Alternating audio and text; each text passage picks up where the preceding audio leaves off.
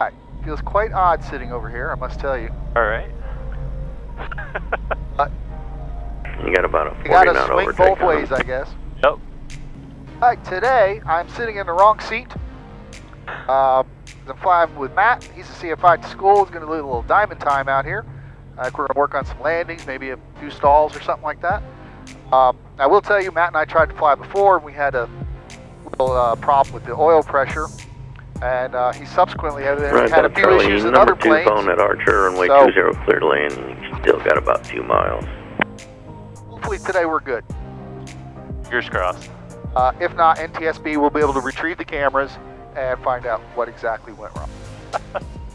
this seems to work well with my students. Um, the question mark flow check before they call in. We start here, we come around and go over. So, Okay. and I know you're CFI. I don't want to tell you this stuff, but I just. Well, it's a new airplane. Right, so so- one thing we didn't check was these.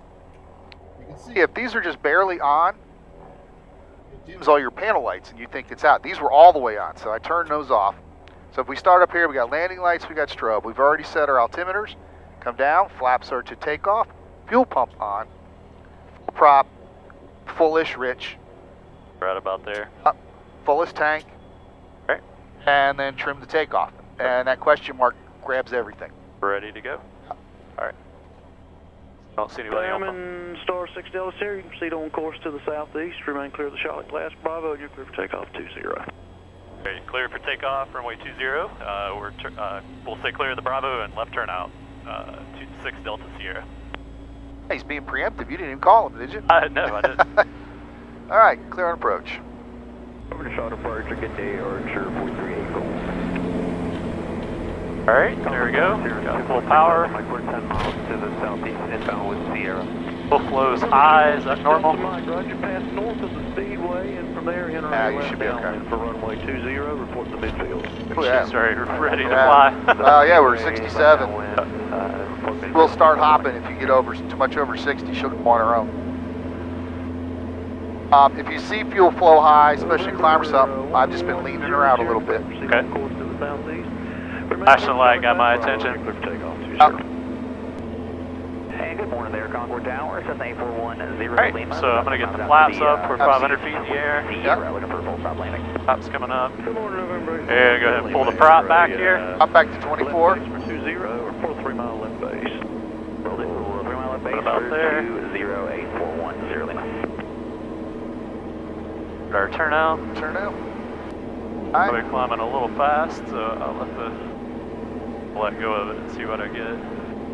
And then whenever you're ready, I like to do an initial lean on the climb, just Okay. to start her coming down. So if we go over here, and you start pulling her back till you get like 1450 or so. November 8410 Lima, just proceed westbound. Alright, where am I looking? Turn final off GT that right there. westbound, heading There we for a long straight into accommodate for departure. November 246 Delta Mike, there is uh, several airplanes climbing off the airport southeast bound. Uh, the closest one to you is at a 2200 feet just north of the speedway right now at Diamond Star. BS. Roger, 6 Delta Sierra. Traffic's ahead of you about three miles. They're descending inbound to the airport out of uh, 2500 right now. This is Cirrus. All right, we'll Alright, keep a we lookout should- for that traffic. Uh, 6 Delta Sierra. On the right. Off to the right, yep. Traffic, 12 o'clock. Uh, Same altitude, one You mile. would turn back to the right. Right, I got him. I'll give you another turn here in a minute to All clear right, some I got him too. Copy So that. we're Turn to the good. And we're 20 miles out. sir. And the range knob, I usually keep the range in tight when I'm taking off and landing because I can see ground obstacles. Um, and then when flying, You're good. I'm walking up on you. Go wherever you need to. Well, yeah, direct one. I usually go about 12 miles because that not only gives you the traffic, but it gives you their altitude in relation to you. Well, that's 20 miles. All right, to 25 miles, all you see is traffic. In fact, to 20 miles, that's why I picked 12.5. All right, so a 12 point mile radius or Yeah, and it's showing you a ring right here of your 12.5 miles. So you're actually seeing more than Ah, 12.5. Okay, so the ring is 12. The ring is 12.5. And I find it very handy to have their altitude. Then I need to know if I need to worry about them or not. automated weather observation. One, three, two, zero, Zulu, weather, wind, two, two, zero, at eight, visibility, one, zero, clear, below, you one, done with him? two, thousand, I'm good. Okay, all right. All right, so their runways are uh, the southwest. All right, so you can go to waypoint, and they'll give it to you. Six and three, four. So it looks like one six is going to be our best runway All right. today. What I'll do is I'll actually just cross over midfield. Midfield, okay. Yeah. I don't see any traffic there, but we'll keep our ears out. Okay. And I will do a direct entry. That's what somebody pops up in the pattern, and I might teardrop. All right. So we're about 10 miles out. I'll give them a call, and it's Anson County. And we're going to land on runway 16. All right, Anson County traffic, Diamond Star 526 Delta Sierra, about 10 miles to the uh, northwest, inbound for landing runway 16, Anson.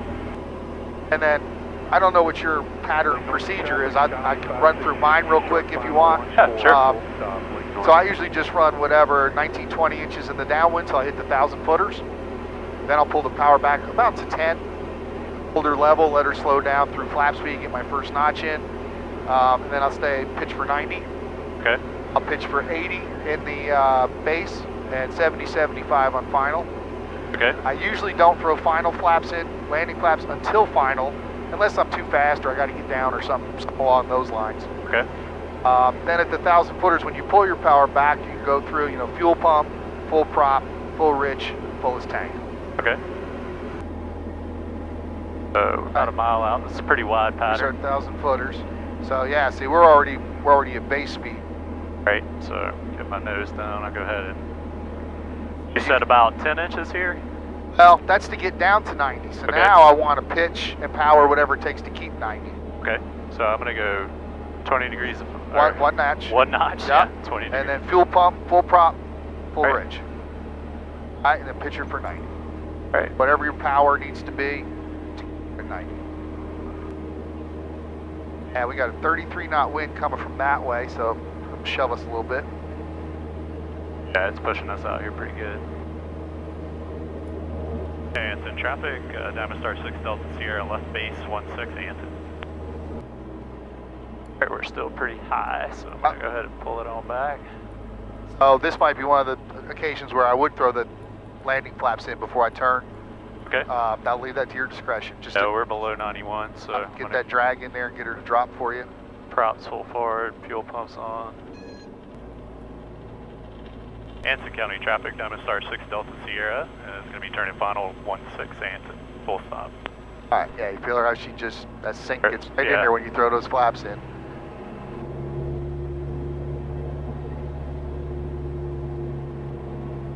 That wind trying to hold us out here too. A little more power, a little slow. There you go. She's Right. buffing it a little bit. Yeah. A little fast. So.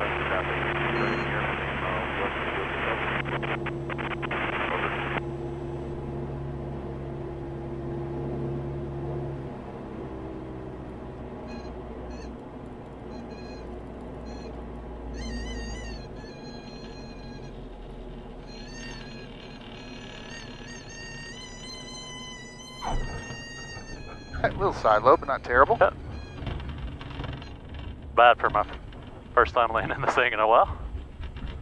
All right, so there's cruise. Uh, All right. I'll do a little slow flight first. What's uh, if you could coach me through just kind of the power settings here? All right, so basically I would do just like the 1,000 footers. I'd pull her back to about 10 to start with, Okay. hold her level. I'll even give you an altitude bug. Then just go through your, your normal, you know, first notch, second notch of flaps. And probably going to want to be about 65 knots. I coach everybody just above stall horn. It's probably going to Okay. be about 65, 67. So we're below 108. Flaps First take off. notch. All right. So now we're below 91. So we can go landing flaps, holding that altitude. And, and YouTube, we did do a clearing turn. All right, so there's your horn.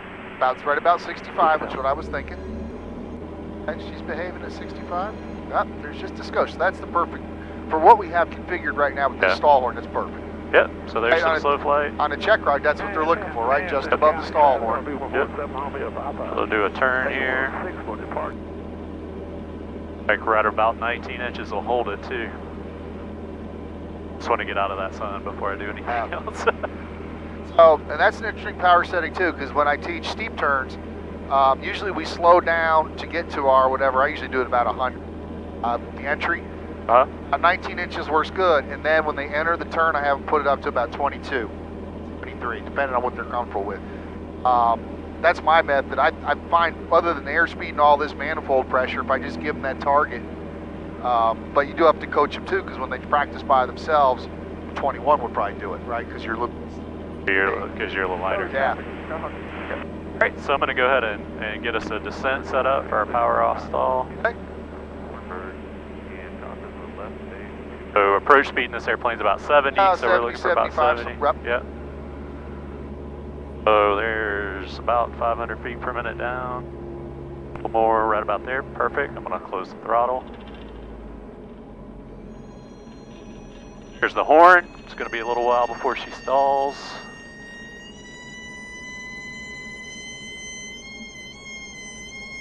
All right, there's Alright, the buffet. there's the buffet. Sort of braked. There's sort. It doesn't break though, does it? I would not at this All right. pitch. All right, so here we We'll go. just buff it. Unless you get a much higher nose up, she won't break at that.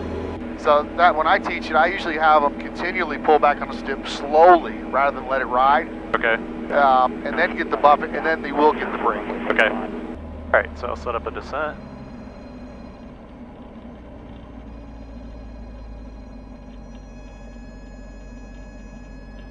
All right, let her pick up a little more speed, maybe.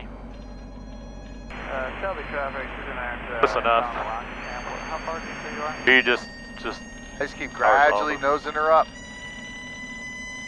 Uh, we're crossing the down 153. There's the buffet, and there's another break. There's there the you break. go. There you go. flaps take off.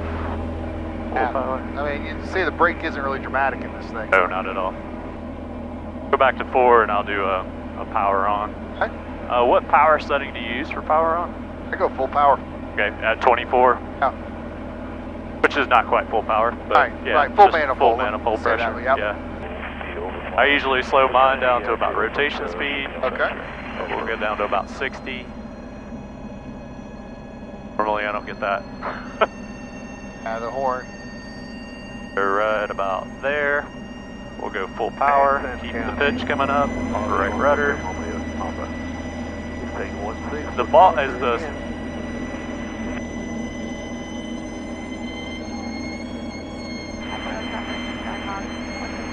And that's it, really. a little too much rudder.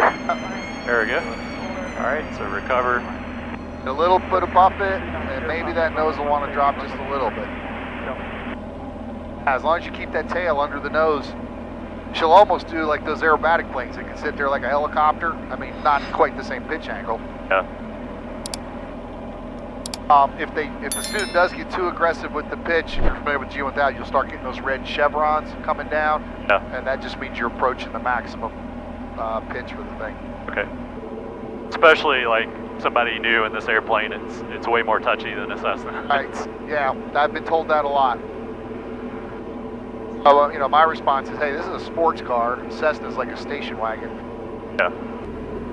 Yeah, Monroe traffic, uh, 6 Delta Sierra, setting up for uh, 45 to the left downwind, uh, runway 23 Monroe. Who is that guy? Yeah. He's not showing up on my screen. That's the thing about ADSB, you don't Yeah. always have it, right? Yeah. Yeah, but he's under the Bravo. He's got to have it. Or he's supposed to, yeah. Yeah. Unless he doesn't have an electrical system. Oh, that's true. Somebody who who's a fresher CFI than I am still have all that book knowledge. Yeah, Monroe traffic, Diamond Star 6 Delta Sierra, final 23 Monroe. Alright, so we're below, was it 81, just barely. I'm going to lift the nose a little bit, and then we'll get the flaps in. Rolling down for runway 23 now. Am I scaring you? Uh, it's habit. If I start feeling the wing go down, I reach for the stick. Three.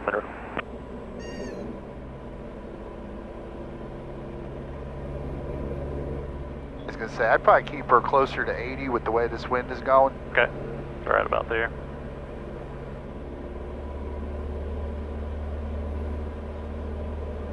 Traffic left down 123 Monroe.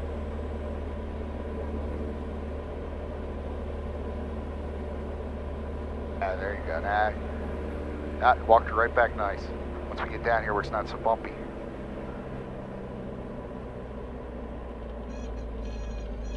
So we're at about here, Blair? Oh, Not quite. Let's let it come back down. Ah, damn it.